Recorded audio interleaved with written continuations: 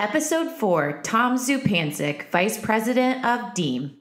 Welcome to Gut Plus Science analytics about people, insights for executives, truth you can act on. A high energy, fast paced, results oriented exchange featuring employee engagement evangelist and CEO, your host, Nikki Lewallen. You're in for a real treat with our guest today. I want to talk to you about a problem that I think he's going to help us solve. So, did you know that more money is spent on leadership development than any other area of corporate training? Yet, 71% of companies do not feel that their leaders are able to lead them into the future or take their company to the next level. So, we're spending a lot of time and money on the emphasis of developing our leaders, but we don't feel that the strategies and tactics that we're using are going to get us where we need to go. Well, the guy I have in this show today has spent 28 years on the sidelines of the NFL coaching the world's greatest football players and is now working and leading thousands of employees in one of the largest electrical mechanical companies in the nation. This man has done some amazing things, and I'm honored to say that I've got to work alongside him for a couple of projects. I consider him definitely a mentor. And when we spent time doing the interview, we have this bonus segment of uh, the learning of how Tom Zupancic did a multi million dollar 20 year deal with Lucas Oil to bring to us Lucas Oil Stadium in Indianapolis. It is such a cool story, and I'd love to share it with you, but we're not going to be able to cover it in today's segment. It's a bonus round. So you can hit me up on LinkedIn. Find me Nikki. It's N I K K I. Last name is L E W A L L E N. Hit me up on LinkedIn or you can email me and we can send that over to you. You don't want to miss it. It's a super cool story. I was pumped up after we uh, had the chance to just really inspired, honestly. I was like, I could go do bigger things. This guy is like inspiring. We're going to dive right in. Before we do that, I want to hear quickly from our sponsor, and then I'm going to ask Tom the very first question to do a deep dive and start learning from him. So let's hear from our sponsor.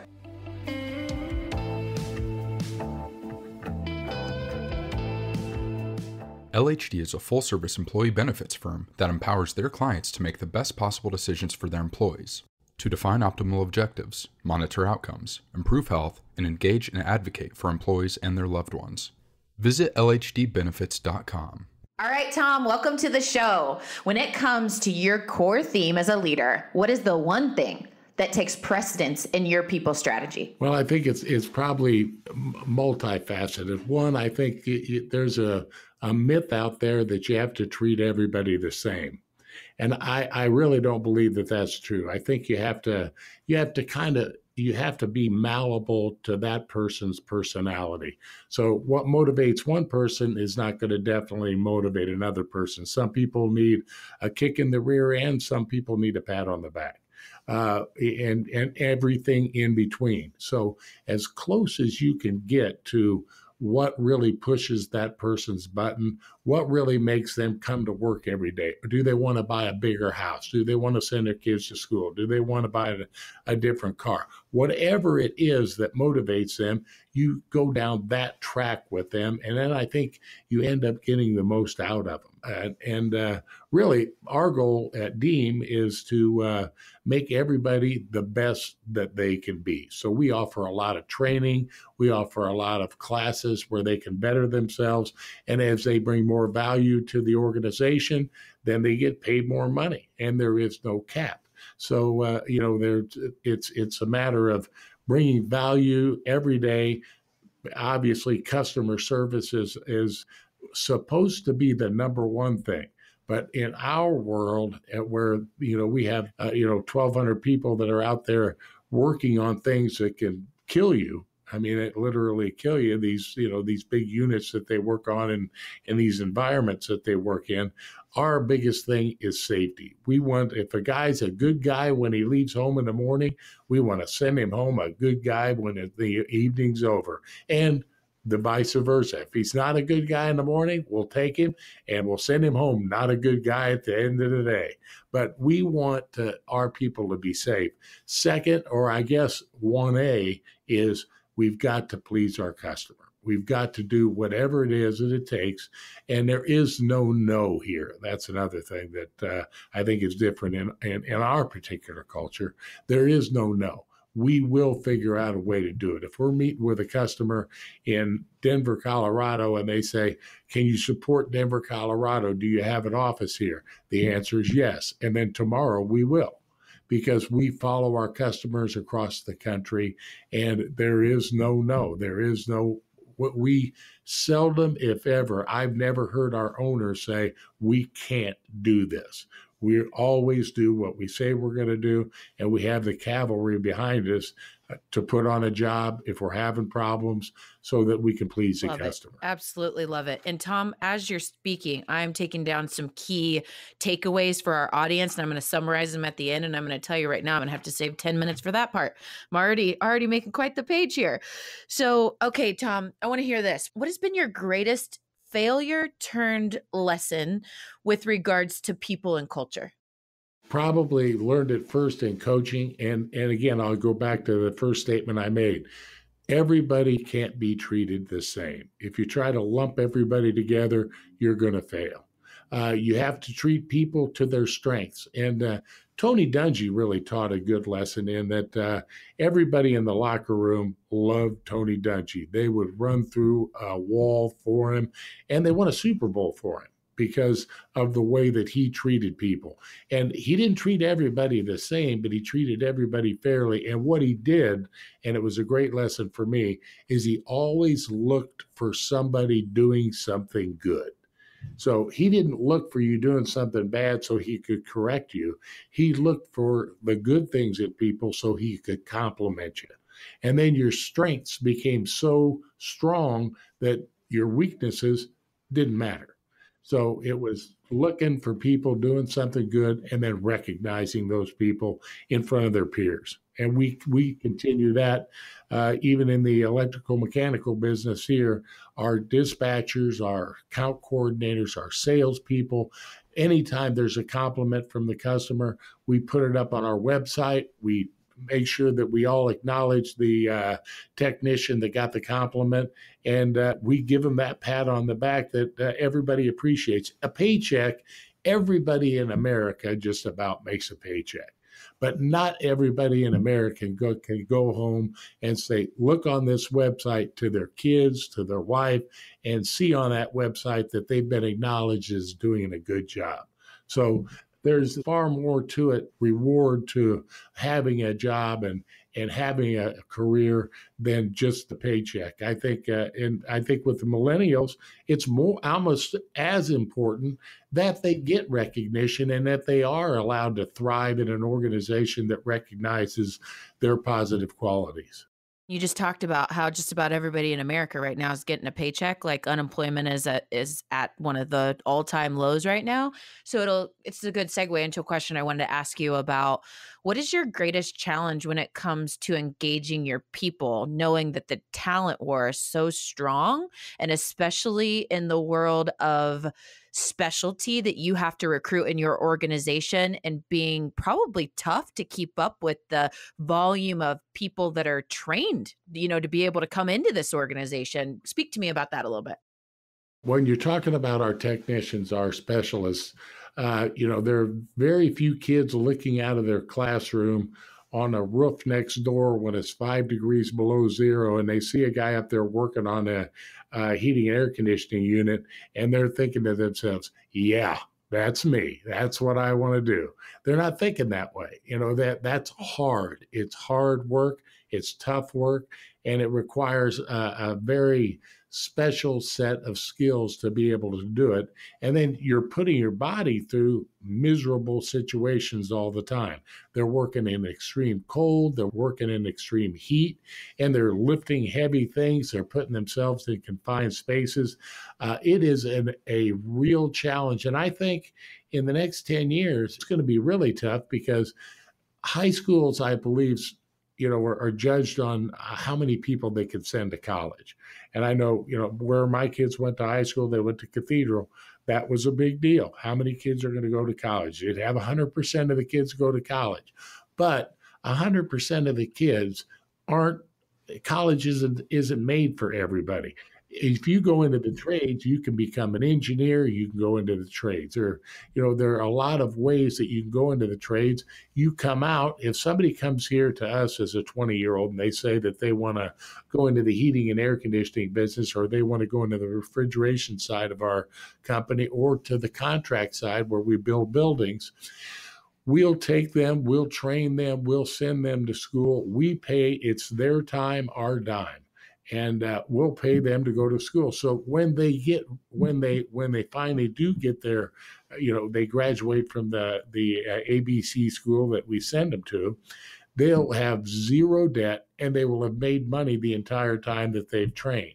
So there are a lot of benefits to uh, to getting into the trades. Now, at the end of the day, they're difficult, and it's uh, you know, and it constantly changes with technology. So it's it's a college education every day they come to work because they never know what the next the new software that's going to come out that's going to be a control system that operates you know every every building at the Indianapolis 500 and uh, they've got to be able to know that plug into it and be able to operate those systems there's so many people out there that are struggling with the lack of talent especially in certain niche markets and the way that you know these new generations are coming in and how to how in the heck do we get these people in the door and it, you just you have to be super innovative nowadays and i think what deem is doing is just neat to hear is just truly investing in that person from the day that they say I do. I, I'm in and investing in them as much as you would a five year employee and putting that trust in them, thinking that the outcome is just going to be like like what happened with your deal with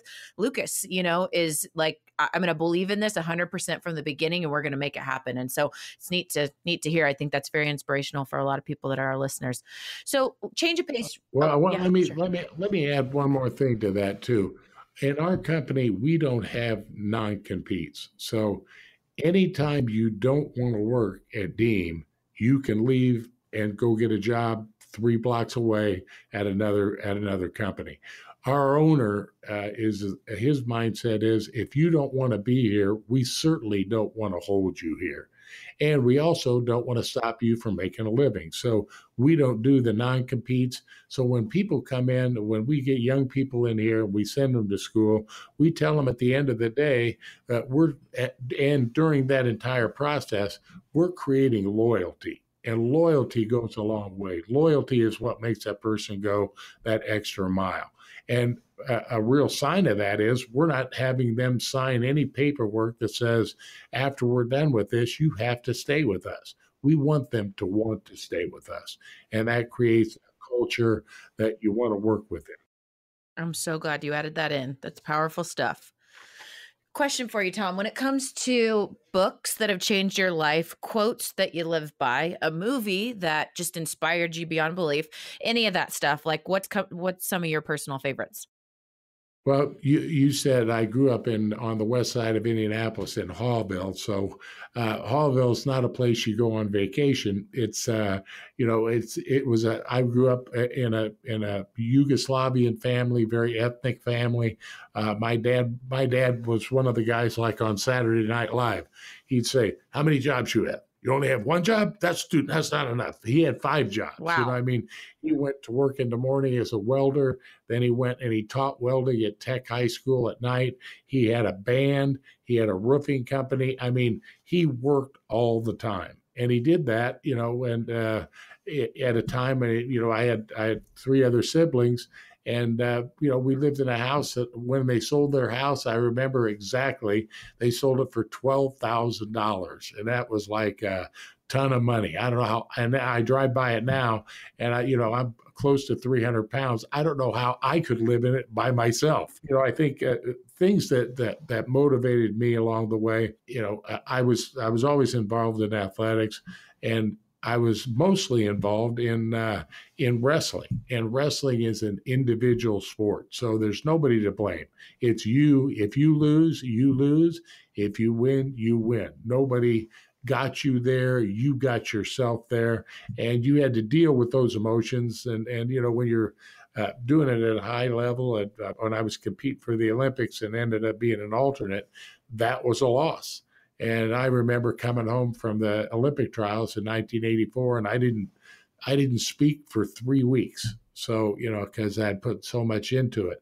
Uh, but, you know, then I rebounded, went and applied at the Colts, and uh, kind of uh, in, in, in keeping with that same thought process, I sent my resume to Frank Kush, the then first coach of the Colts here in Indianapolis, and uh, sent it with a uh, a delivery service, and they he turned it away. He said, "I'm not hiring anybody." So I sent it again the next day with the delivery service, and the secretary said that we're not hiring, and she didn't take it. And so on the tenth time that I sent it to him, uh, uh, which was 10 days in a row. The delivery guy thought I was crazy paying this money to have it delivered every day.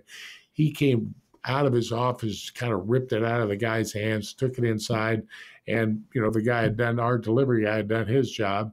And uh, later on that evening, he called me on the phone. He said, I just read your resume. He said, Can you come in tomorrow and uh, do an interview? And I went in the next day, did an interview with him and a couple of the other coaches. And that was my first foot in the door of the NFL. He said, You're going to be, and my wife was so excited because she thought, Boy, you're going to be making, you know, you're going to be making Peyton Manning money. Boy, it's going to be great. We're going to be, you know, we're going to be set for life.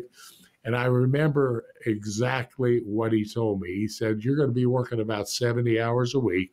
He said, And I'm going to pay you $200 a week. And that amounted to $157.40 that I was going to be taking home. I went home and told my wife everything but that. She was so excited. then she finally asked, How much are you going to get paid? And I said, Honey, I just got my foot in the door and this is just a little stipend. So the next year, Frank left, a new coach came in, and then I got hired to my first real NFL contract. So, uh, what motivates me are our challenges. What motivates me are, are seeing our our workers, our people that work inside the building, in the office, that support the field, uh, working in unison together, having great teamwork. Our work area is very Google esque, I guess you could call it, where in close quarters, it's like uh, working on the stockroom floor. There's information flying back and forth all the time so that we can make sure that we get the best guy that we have in the field to the situation that he needs to take care of for our customer. So, communication, free communication, and being able to speak your mind and and bring me any problems. I I might as well not have a door because we have people coming in and out of my door so often. That's what keeps me going. That's what motivates me. That's what uh, makes me get up in the morning and come to work. I, I, speak to every orientation class that we have come through, and we'll hire between four and 20 people a week. Uh, and and I wear, you know what fun socks are, right? Yeah. Okay. I always ask them, I said, what are your fun socks? And they have no idea what I'm talking about. I said, what makes you get up in the morning? Why do you come? Why do you get up? Why do you come to work? Why do you look in the mirror and get a checkup from the neck up and make sure you don't have hardening of the attitudes? And I say, I said, every time I have a bad day, I look at my fun socks and I pull my pant leg up and I've got fun socks on, some kind of a, whether they have you know beers on them or bears on them or you know parakeets but there's some kind of fun socks. I said that reminds me that i've got it good. That reminds me of why i come to work every day. And no matter how bad the day is if you think about what drives you it helps you get through that day because everybody's going to have a bad day from time to time Oh, that's so good. It's so good. And I told you when we were starting this podcast today, I was like, I know that we could sit here all day. I literally could sit with you all day. I'm just glowing on the other side of this microphone. So this has just been so fun, Tom. I got to learn new things about you, and we've had some other conversations where I've I've heard some pretty cool stories. Custom Concrete has been creating foundations for the finest homes, commercial buildings, and industrial facilities throughout central Indiana since 1969. Builders, contractors, and homeowners rely on our expertise because so much depends on getting it right. Our knowledge and control of all aspects of the job, from excavation to waterproofing to backfill, means that extra value is built into every project. Codes don't drive our business, excellence does. See the difference at customconcrete.com.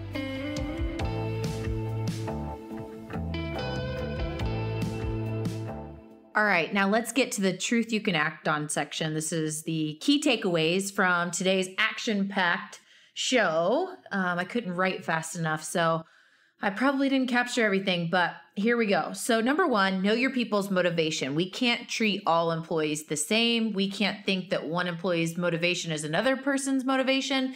And so, it's really important to spend time listening and truly understanding the people on your team and what motivates them and really helping them be able to tap into that. If you've ever heard of or read the book The Dream Manager, um, whichever, maybe you never heard of it, I highly recommend it. It's by Matthew Kelly. It is a wonderful book, probably 10 years old, changed my life and really got me on on the path for which I'm in now as far as my career, but it speaks a lot to this about understanding what makes each individual tick and helping them find their dreams and then tie their role at the company, you know, into that dream very clearly. So that's that. The next is um, customer service is a super top priority, but it doesn't take priority over number one, which is your employees. And so um, it's so important if you know that uh, saying about you know when you're on an airplane and the flight attendants say you need to put on your oxygen mask before you can put on anybody else's or take care of anybody else same thing applies here. We have to take care of our people first. And Tom spoke a lot today about the importance of safety and just they they take that so seriously, especially with the type of work that they're doing at Deem. Number three, always look for the good in things and people and recognize what they're doing well first. Even when you have to approach somebody and, you know, have a tough conversation, always start by building on the positives. I wonder if Tom and his collaboration with Tony Dungy was a big piece of this next one, next takeaway that I had which is creating loyalty is what makes our people want to walk through fire for us. And so, gosh, um, I know they both worked on the field for many years together, coaching for the Indianapolis Colts. And that is just the epitome of both of them. They are those guys that I can just see people just walking the fine line or walking through flames for because of the strength and the loyalty of the relationship. And finally, don't forget the power of determination and the importance of having passion for the things you're working on. And just like the story about Tom and just his persistence, he just had a burning desire to do that. And even when people said, we don't even know who Lucas Oil is, that he didn't stop him. And he even put together the dog and pony show and everything. It was just an incredible story of determination. And I just absolutely loved hearing that story again. So, with that, guys, I hope you can take some of this information back and do something with it this week. Uh, I do want to end our show on something that Tom shared. You know, there's a poem that I like uh, that I think is uh, is very applicable to to being successful in anything, and I think it's, it's about being true to yourself. It go it goes like this. I'll shoot it at you here real quick. Uh, when you get what you want and you struggle for self, and the world makes you king for a day, go to the mirror, take a look at yourself, and see what that guy has to say. Because it isn't your mom or your dad or your friend whose judgment upon you must pass. But sooner or later, the person that counts, it's the one looking back in the glass. You might be Jack Horner and chisel a plum and say, Hey, I'm a wonderful guy. But the man in the glass says you're only a bum if you can't look him straight in the eye. You might fool the world down the pathway years and get pats on the back as you pass but your final reward is heartache and tears if you've cheated the man in the glass. So don't cheat yourself and have a good day.